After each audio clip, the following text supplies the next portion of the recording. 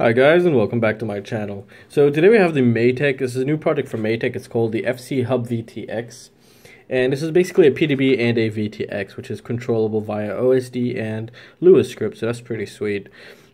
Now it is a 25, 200, and 500 milliwatts, and like I said, this is a PDB and a VTX all in one, so that's just awesome. Um, it is meant for the Matek flight controller, the F405 OSD. You can connect it via ribbon cable and it'll do all your connections and you don't have to worry about anything. So it's pretty sweet. You would solder your ESCs here and your signals and everything and just have everything connected via ribbon. And the only thing you would need to solder after your ESCs to this guy is basically the camera to your flight controller and your receiver to your flight controller and basically you're done. So that's pretty awesome.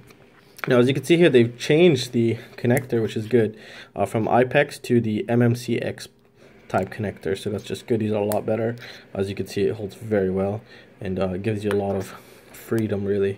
So they do provide you with a SMA this is SMA not RPSMA SMA and a dipolar. So that's pretty sweet here. And they do give you an extra ribbon just in case if you lost yours with your flight controller. So if you wanted to stick that with it you, you can you can go right ahead and do that. Now let's just talk about the board as if we're not using the uh, flight controller from Matek. So as you can see, the battery is in the back here, and um, we have motor 1, 2, 3, 4. Now, if you're using another flight controller, you would not need to solder your signals here. You would take them directly to your flight controller. However, if you wanted to, you can solder your signals here and take them from here to your flight controller. It's up to you. It depends on your setup on that perspective. Now, let's just check out the pads here. So, as you can see we have we do have current sensing also so that's pretty sweet. Um, but we don't have an OSD on board so that's something to take note of. So we have a 5 volt and ground so this would probably power up your flight controller if you wanted to. TX1 and RX1 so these are used for flashing because you can flash this receiver uh, this VTX and um, it is a 40 channel VTX and it runs 25, 200, 500 milliwatts. So that's pretty good. Now, through upgrading firmwares, you can increase the channels. I don't know if they'll release a firmware that does that. Uh, I don't believe it doesn't have. It doesn't say anything about pit mode, so I don't believe this has pit mode. But it could possibly be programmed within. Not sure. Don't take my word for it just yet. So we have 5 volt ground. We can power up our uh, flight controller with if we're using a separate flight controller other than the Matek and we have TX1, RX1. This is for programming the VTX, like I said before, and also controlling the VTX. So let's just say you wanted to control the VTX through the Betaflight OSD. So what you want to do is you would take TX1, not RX1. I know it's weird logic, but you would take TX1 and put it on an open TX port on your flight controller. And um, let's just say you put it on TX6 on your flight controller and then you would take that TX6 and put it to the TX1 here. And in Betaflight, you would set UART6 to run the tramp protocol, the IRC tramp protocol. And then that way you'll be able to control this guy through the Betaflight OSD. Alright, and here we have another ground and VBAT. VBAT is just a direct voltage coming in from your battery, so if you want to use that for something, you can. Let's take a look here. We have 5 volt and ground. This is another pair. Um, you could possibly use this to power up your camera or your, I don't know, your receiver, but you probably your receiver, your flight controller probably have 5 volt regulator for the receiver, so you could run that as well from there. So that's good. They give us two 5 volt pads here. And these are the signals. These are basically just routed from here to here. So if you wanted to use them, you can.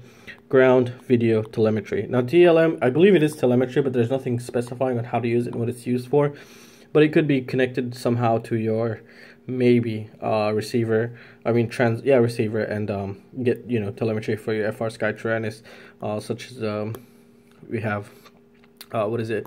Current sensing and the voltage and possibly even the channel and stuff. So that's pretty sweet. Um, possibly i'm not sure yet. There's nothing really about this just yet. And this is video so um, let's just say you had osd on your flight controller. So the camera would go into your flight controller pass through the OSD and it'll have a video out. So you would take that video out and put it to this guy. So this would be video in here from your camera or from your flight controller. Um, and yeah, well, that's it. We have two buttons here to switch channels. And take a note, these sometimes do tend to break off easy, these types of buttons. And when they do, don't worry about it because all, all, it, all it really does is when you push a button is it bridges two pads together and thus simulating a button press. So if you do break this off, just just short out, there's four basically paths. Just keep shorting them out until you figure out which one changes, and then that's how you would change channel. So don't worry if that happens to you. And here we have some kind of TVS diode, which gives us some protection against high voltage. That's very good. And that's really it. That's all I could really say right now. So we're going to be testing this bad boy very soon. And um, it's going to be pretty interesting. I really do like this. And um, this is going to keep your quad very clean. So let's quickly take its dimensions here now. Alright, so its width is 35.8. And its length is going to be 36. Let's just double check it here. Yeah, 36.1. This is the length on the shortest part.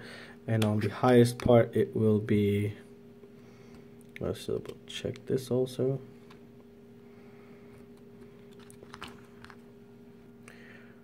45.6 its length in the longest parts here. So that's pretty nice. The PCB is 2 millimeters thick so that's very good. Uh, the overall height from the highest points if that is of interest to you would be 7.3 millimeters so it's 7.3 millimeters on the highest part. So its overall height in the highest part over here. So that's pretty good 7 millimeters. It's not bad at all. Now let's just quickly get the scale and check its weight because that's very important. And I think it was like 17 grams maybe or 7 13 grams. 13 grams and then if we add this is an SMA Okay, so that's 17 grams with an SMA port, MMCX to SMA, and here is dipolar. So we got the dipolar also. Um, it's fairly light, it's very good. I really do like this because now basically you can get like that flight controller from FrSky, which has a receiver built in, not the all-in-one, and stick it with this guy. And basically you have your VTX, PDB, flight controller, and receiver in just two stacks. So that's just insane, I think. That's just gonna reduce weight and cut time and and just be overall very clean. So you'd be left with like a 4-in-1 ESC if you wanted, or just just soldering your ESCs and camera and you're done. Um, so it'd be very clean build, so it's pretty sweet. Uh, and also if you use the Matek flight controller, all you do is just this ribbon cable and just basically solder your battery leads and your ESCs and your motors and you're done. So uh, this is pretty sweet. I really do like this. We'll be testing this very soon. I'm going to be building it on the next build and uh, really trying this guy out. This is going to be pretty sweet. I really do like this. So yeah, that's all I can really say right now, guys. So if you guys enjoyed it, if you help someone out there, that's awesome. And if you guys have any questions or any suggestions, feel free to let me know. And we will be doing some noise testing on this guy very soon. So yeah, see you guys. Take care. Happy flying.